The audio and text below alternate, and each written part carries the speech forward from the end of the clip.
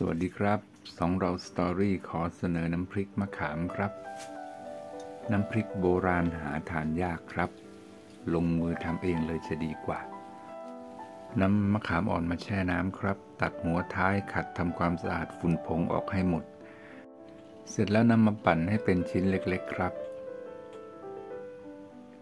เพื่อทุนแรงก่อนที่เราจะไปตำอีกทีครับ ตามด้วยหอมแดง ระเทียม พริกขี้หนูสวนและพริกแดงจินดาครับ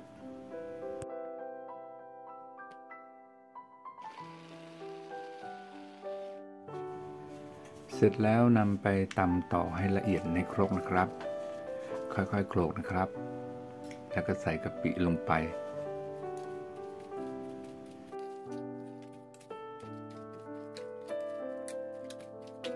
หลังจากที่เราตำและคลุกเคล้าทุกอย่างเข้ากันได้ดีแล้ว ก็ตั้งกระทะครับ เติมน้ำมันพืชเล็กน้อย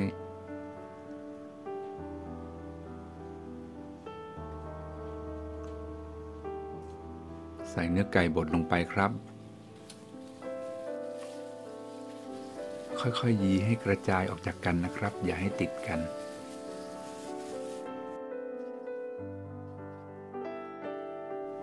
เสร็จแล้วใส่มะขามอ่อนและเครื่องที่เราตำไว้ลงไปผัดให้เข้ากันครับ ค่อยๆผัดไฟปานกลางนะครับ ใส่น้ำเปล่าหรือน้ำล้างครกลงไปครับ ผัดเคี่ยวไปเรื่อย ๆ ครับ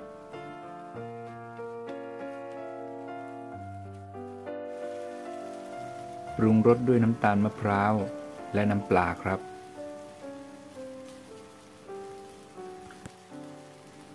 ผงปรุงรสเล็กน้อยครับ ถ้าไม่ชอบก็ไม่ต้องใส่ก็ได้ครับ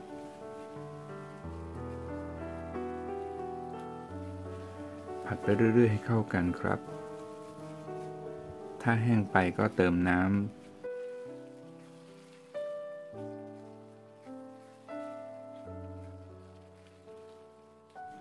ค่อยๆเติมทีละน้อยนะครับ ผัดไปเรื่อยๆ จนแห้งได้ที่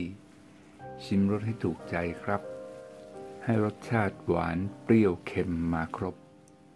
ก็จัดจานได้เลยครับ ขอบคุณที่ติดตามรับชม พบกันใหม่คลิปหน้า สวัสดีครับ